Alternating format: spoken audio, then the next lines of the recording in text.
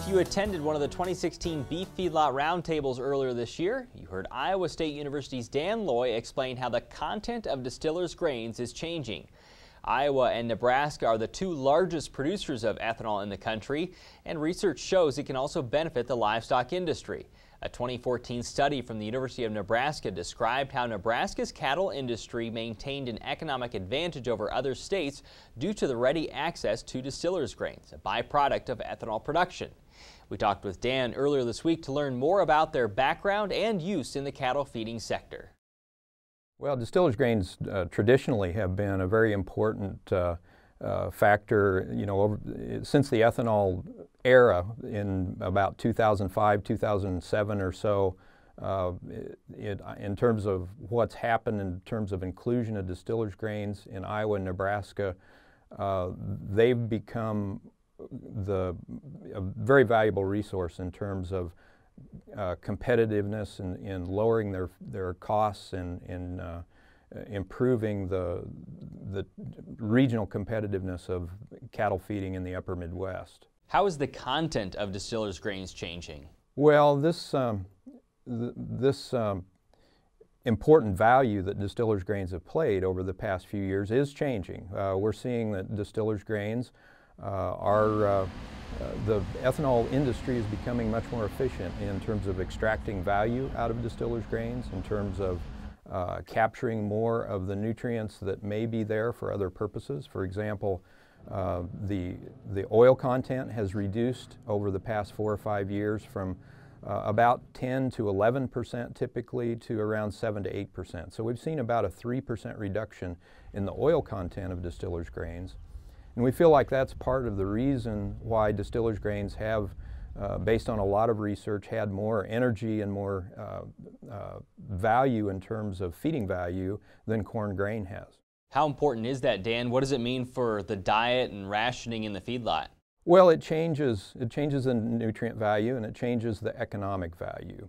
Uh, you know, historically, distillers grains have been shown to have depending on the inclusion level, especially wet distillers grains, as much as 130 to 130 or 40 percent of the energy value of corn grain. Um, at, with each 1 percent reduction in oil content, we find that that changes that feeding value by about 1.6 percent. So when we go from that 10 to 12 percent oil content to something that's closer to 7.5 or 8 percent, we would expect at the same level of inclusion to see about a 5% reduction in feeding value.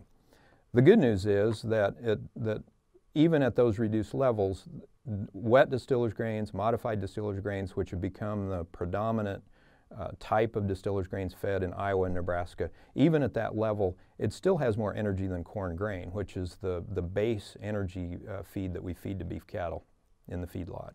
Does that mean the producer doesn't need to change the diet that much, or are there still alterations that need to happen? Well, the question relative to making alterations really depends on economics. Uh, as, as I mentioned, it's often priced relative to corn grain. And, you know, we've become accustomed over the past five to seven years of distillers grains pricing somewhere between 60 to 90 percent of of corn grain on, uh, on a dry matter basis. So we have an economic cost of 70 to 90 percent historically of corn grain and a feeding value of 120 to 130 percent of corn grain. So the incentive, both from an economic and a nutritional standpoint, has been to feed just as much as we can until we start seeing problems. So inclusions of 30 to 35 percent were very typical. Today, as that price um, differential has narrowed and because of the reduced energy value, we're now seeing inclusions that might be more typical in the range of 20 to 25 percent. And that's very localized as well, depending on how close you are to an ethanol plant, depending on the specific plant that you're dealing with and your local corn basis.